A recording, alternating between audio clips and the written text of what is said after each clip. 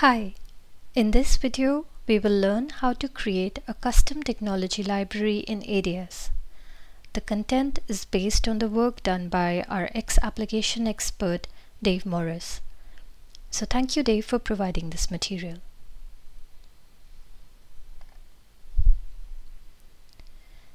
In the ADS main window, create a new dummy workspace.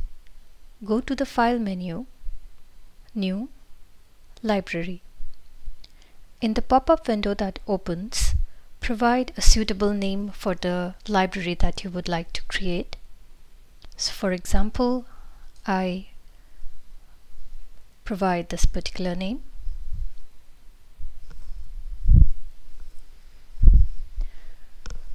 Make sure that there are no special characters like an apostrophe which I was going to add by mistake. Browse to the location where you would like to save this library.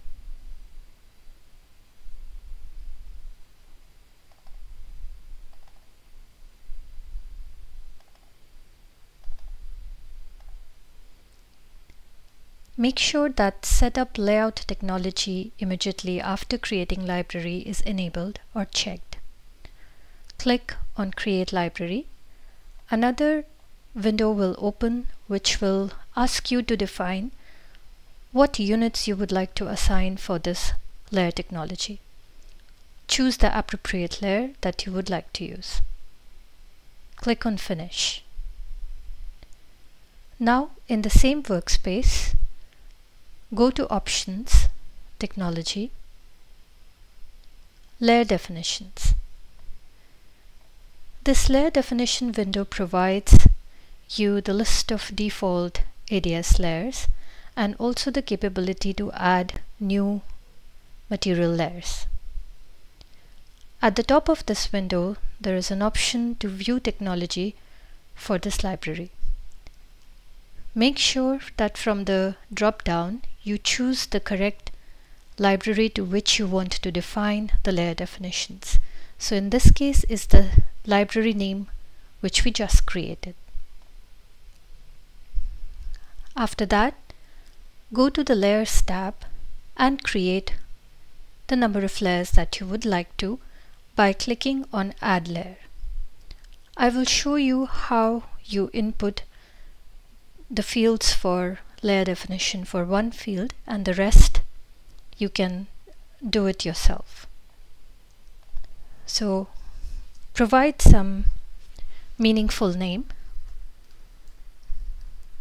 For example, I provide metal 1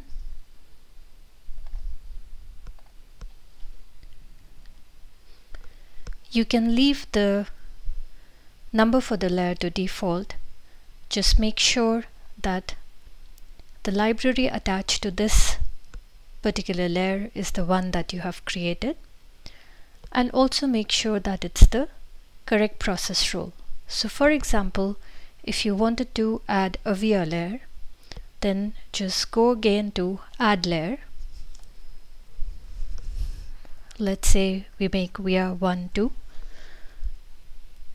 And now in this case, the process rule will have to be changed from conductor to conductor via.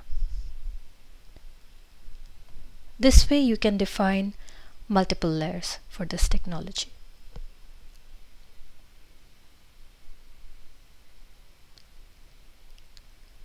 Now you can see here that, that I have created my custom uh, conductor as well as via definition layers to be used in any workspace that I would like, which will be attached to this particular substrate technology library.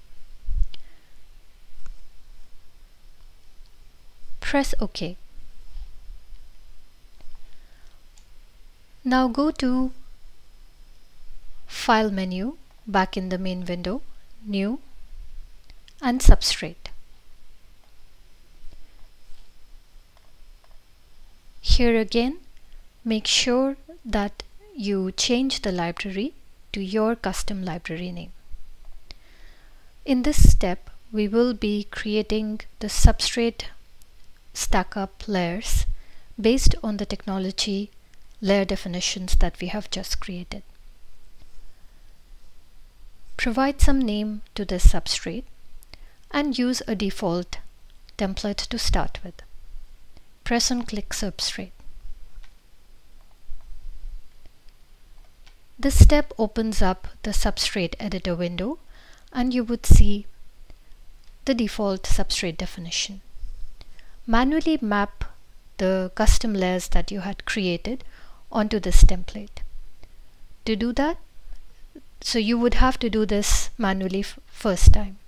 But from uh, later onwards, whenever you use this uh, technology library in any other workspace, your custom substrate will appear automatically.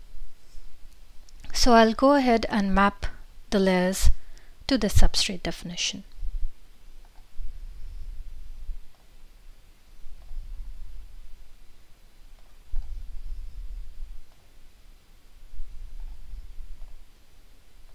I will change this conductor layer to metal 1 then I'll map another conductor layer which I will map it to metal 2 another conductor layer to metal 3 and another one to metal 4 now I will insert the vias between the different metal layers. To do that right click on the dielectric material and just choose map conductor via. So as you can see here ADS is automatically assigning this via 1 to layer definition between metal 1 and metal 2. However, it may happen that it assigns a different layer. In that case, you can just go to the layer tab and choose the correct layer from here in the drop down.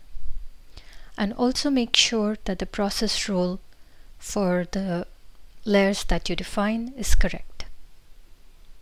I'll go ahead and map the other conductive vias.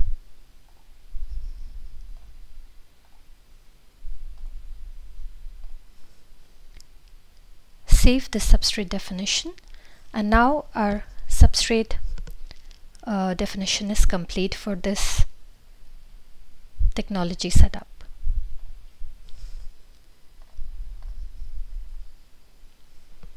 Go back to the ADS main window and go to the library view tab. Here you will see that the technology library that you had created appears as one of the library definitions. And when you expand it, you would see the substrate definition as well that we just created. Right click on this uh, new technology definition that you have created and go to configure library. This is an important step because this enables this particular library to be used independently in multiple workspaces. When you click on configure library, a library configuration editor window opens.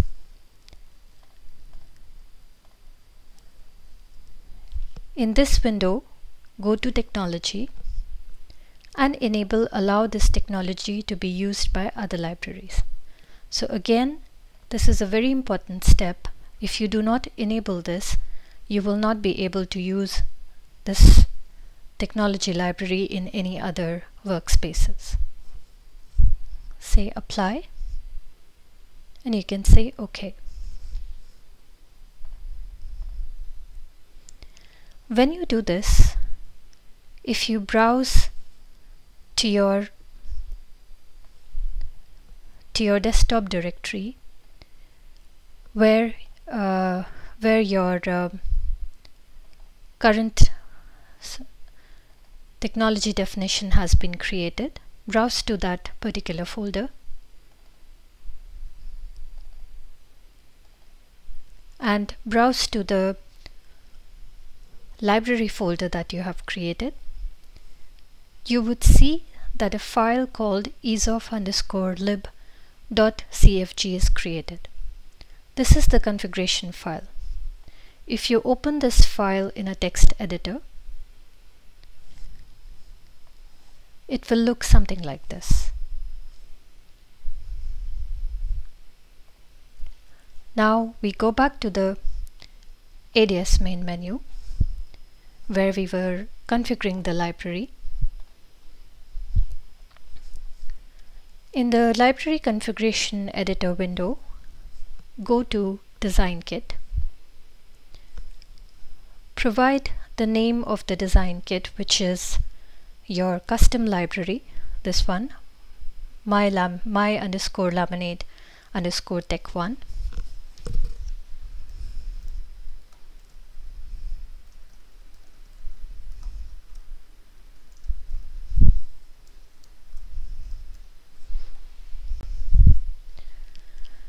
And browse to the root uh, of for this design kit which is the location or where this uh, library sits. So this is the folder where this library sits. So I select this folder. And this is where you can define the versions for your design kit or for your custom library. So since this is the first time we are creating it I will give it version 1.0 if you make any further changes or modify this library or update it you can keep this original library and save the updated one with a desi uh, different design kit version. Say apply.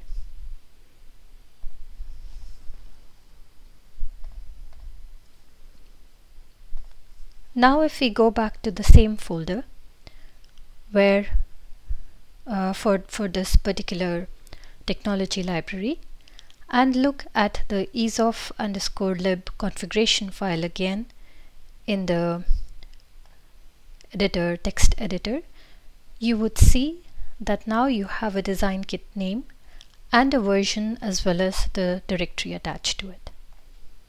So this is a verification that your design kit changes have been applied.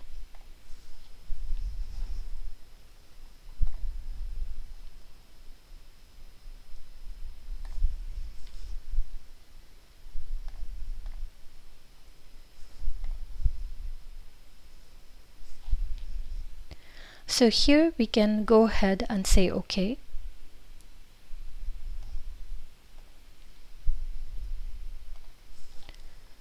In this step we have almost finished the configuration for the technology library. There are a few more steps left before we can start using this newly created custom technology library in different workspaces. So one of the steps that you need to do is you need to browse to the folder where you created this dummy workspace. So I can right click on the name of this workspace and explore in file system. And in the folder where the files for this workspace sit, there are two files called layout.prf and schematic.prf. Just select these files and copy them to the location where your newly created technology library file sits.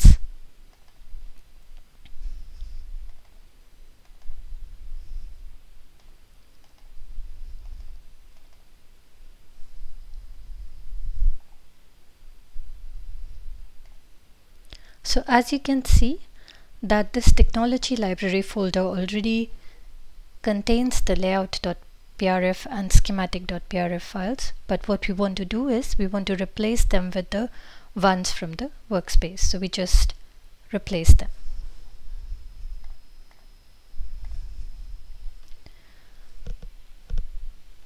Now the configuration for this newly created technology library is complete the next step is to make this um, library uh, uh, available as a favorite library which you can easily add to new or other workspaces.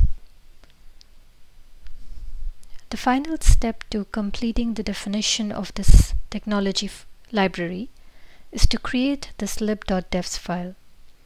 Using any text editor, create the lib.defs file in this format.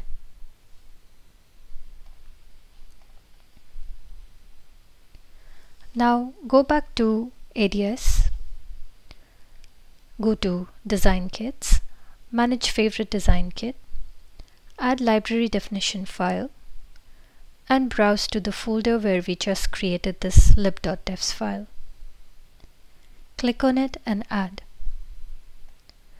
This adds the particular library definition that you have created, the technology, into your favorite design kits, which means that every time you open or create a new workspace, this custom created technology will be available as one of the default libraries that you can add to your current workspace.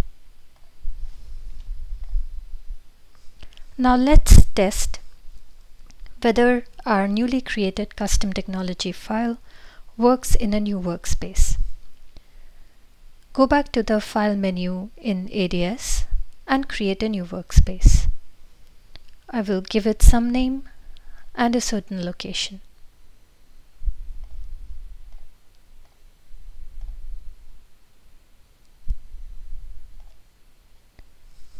Remember at this stage, go to click on change libraries and from here you can add your newly created custom technology definition file by enabling it from the list of favorite libraries. So I will enable it here and say OK. And when I click create workspace, uh, ADS asks me that what layout unit uh, definition that I want to associate with this workspace and library. So I will choose my technology library resolution.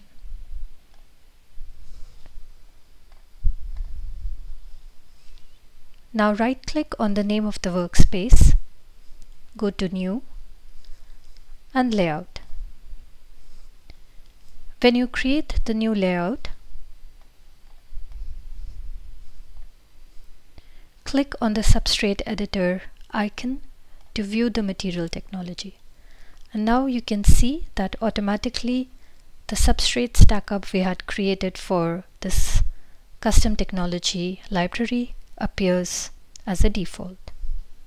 So every time you want to use a certain layer technology in very different workspaces, you just need to include it from your favorite design kits and not have to create it every time or modify it every time.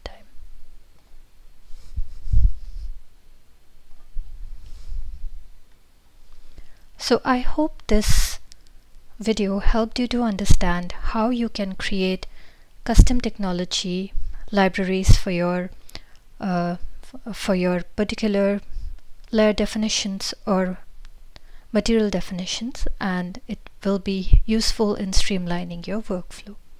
Thank you.